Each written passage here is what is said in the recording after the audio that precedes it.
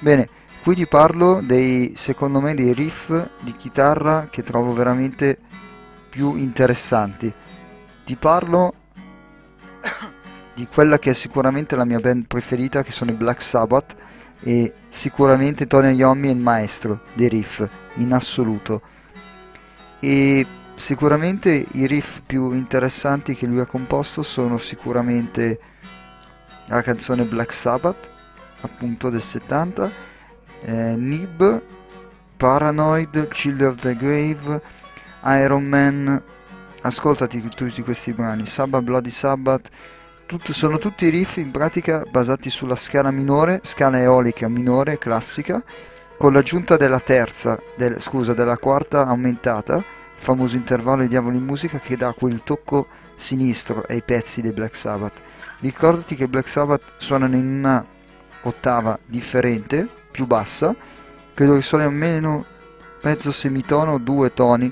Io direi che addirittura suona diciamo che se la prima corda è B, diciamo che è accordata in Sol, per fare un esempio. Di solito è accordata in La, la chitarra, lui la, la, tiene, la tiene, in Sol, perché praticamente in Sol tiene un, mezzo, un tono sotto. La teneva così bassa per un motivo specifico, perché lui, avendo, non avendo le dita, avendo falangi delle dita, ma gli mancavano, in alcuni popastrelli appunto, gli mancavano, lui ha dovuto studiare questo nuovo sistema appunto per fare in modo di sopperire a questa che è una mancanza che, di, che effettivamente lui possiede. Dato che aveva dolore quando suonava, la cosa importante per lui proprio è il fatto di capire che abbassando, abbassando di un tono la chitarra in pratica, quello che quello che succedeva abbassando di un, tono la di un tono la chitarra, in pratica il suono che veniva fuori era un suono molto più cupo, un suono molto più cupo, molto più potente e questo rendeva veramente sua, le sue composizioni molto più tetre, oscure. Infatti il sound dei Black Sabbath è caratteristico quello dark, oscuro. Poi mi viene in mente altri riff, mi viene in mente, viene in mente appunto i di Purple un riff su tutti è Smoke on the Water na na na, tu, tu, tu, che proprio è l'esempio classico Smoke on the Water proprio è l'esempio classico lampante di quello che sono i riff di chitarra. Poi mi viene in mente Spoonful dei Cream, mi viene in mente Fire di Jimi Hendrix.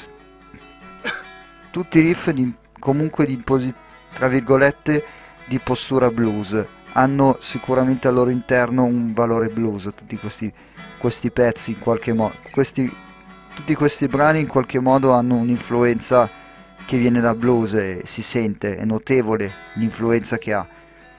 Questo è il concetto. Tutti, ascoltati tutte queste band questi stili io direi di fine fine anni proprio anni 70 il periodo è quello, fine anni 70, no, anni 60, inizio anni 70, dove proprio, proprio la chitarra padroneggiava e si facevano tutti questi, questi riff incredibili di chitarra, questi riff basati proprio sulla chitarra.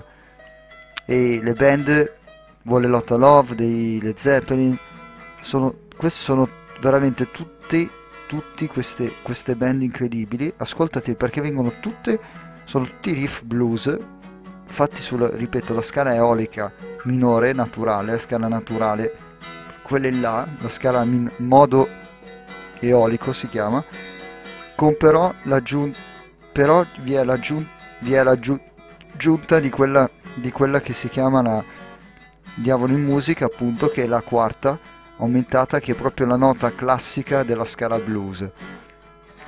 E loro la usano, la, la usano tantissimo per dare quel tocco quello stile, quella sfumatura classica proprio del blues.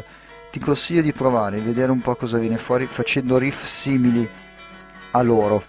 Ciao, passiamo video. Oh.